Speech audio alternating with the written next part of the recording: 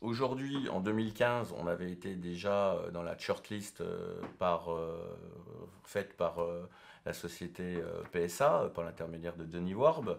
on avait apporté déjà toutes les garanties financières. Vous, vous, entendez bien que la société PSA, qui est cotée au CAC 40, ne peut pas se permettre, je pense, d'avoir des transactions avec des actionnaires qui sont pour le moins en tout cas sur le, court terme et moyen terme défectueux. Donc on avait apporté effectivement toutes ces garanties.